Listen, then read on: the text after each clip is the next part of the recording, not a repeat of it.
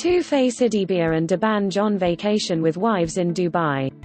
D'banj and Two-Face Idibia are presently in Dubai with their wives, Annie Idibia and Lineo Didi Kilgrow and from their photos, these guys are having fun. Annie Idibia took to her Instagram stories where she posted photos and videos from their trip to the beautiful city.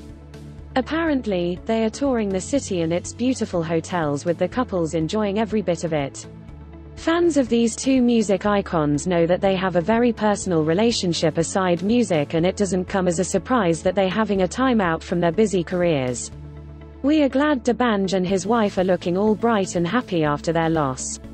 It is heartwarming to see D'banj and his wife, Lineo Didi Kilgrow share an intimate moment at their vacation in Dubai. Following the release of the first public picture of D'banj and his wife since the loss of their son a few months ago, the singer has shared another image of himself feeding his wife during their vacation on his Instagram page on Thursday, September 6, 2018. Everything about this photo is cute as we can all see a very happy D'banj all loved up with his pretty and sexy wife, Lineo Didi Kilgrow. The image had the caption, Life is beautiful. Good.